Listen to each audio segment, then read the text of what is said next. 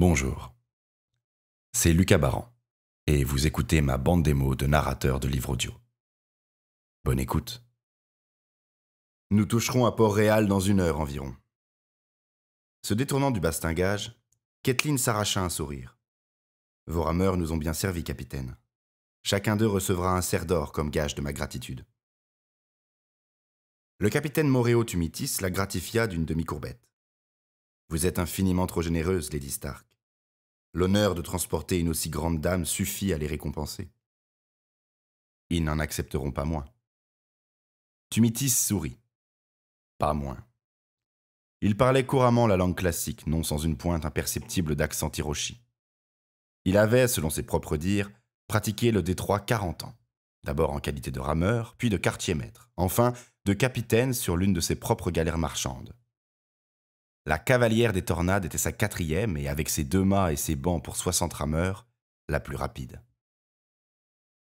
Plus rapide en tout cas qu'aucun des bateaux disponibles à Blancport quand y était parvenu au terme d'une course effrénée Ketling et Sir Roderick. Eu égard à la rapacité notoire des gens de Taille-Roche, ce dernier préconisait de louer quelques canges aux pêcheurs des Trois Sœurs, mais elle-même n'avait pas démordu de sa préférence pour la galère et s'en félicitait. Les vents n'avaient cessé de se montrer contraires et, à la voile, on serait encore en train de tirer poussivement des bords, quelque part au large des quatre doigts, au lieu de cingler comme à présent vers le dénouement du voyage. Si près, pensa-t-elle. Sous les bandages de lin, la morsure du poignard lui lancinait encore les doigts. Le fouet de la douleur comme antidote de l'oubli.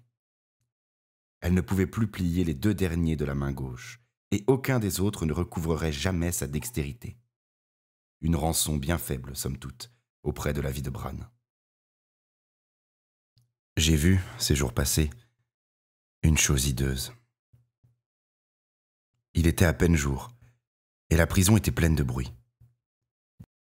On entendait ouvrir et fermer les lourdes portes, grincer les verrous et les cadenas de fer, carillonner les trousseaux de clés entrechoqués à la ceinture des géoliers, trembler les escaliers du haut en bas sous les pas précipités, et des voix s'appeler et se répondre des deux bouts des longs corridors. Mes voisins de cachot, les forçats en punition, étaient plus gais qu'à l'ordinaire.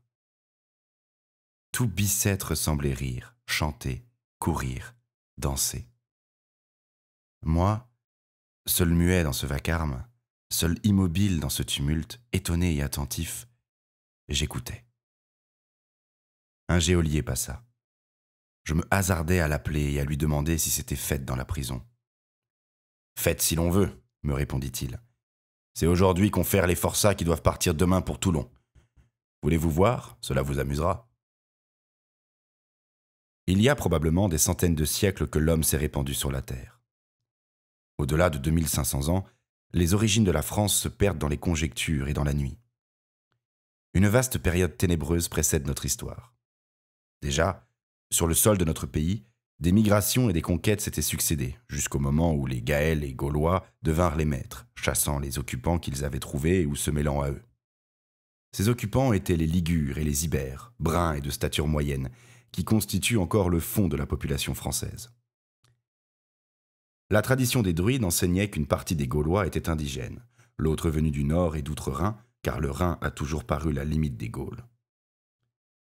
Ainsi, la fusion des races a commencé dès les âges préhistoriques. Le peuple français est un composé. C'est mieux qu'une race, c'est une nation.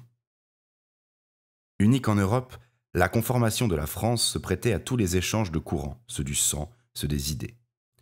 La France est un isthme, une voie de grande communication entre le nord et le midi. Il y avait, avant la conquête romaine, de prodigieuses différences entre la colonie grecque de Marseille et les Cimbres d'entre Seine-et-Loire ou les Belges d'entre Muse et Seine.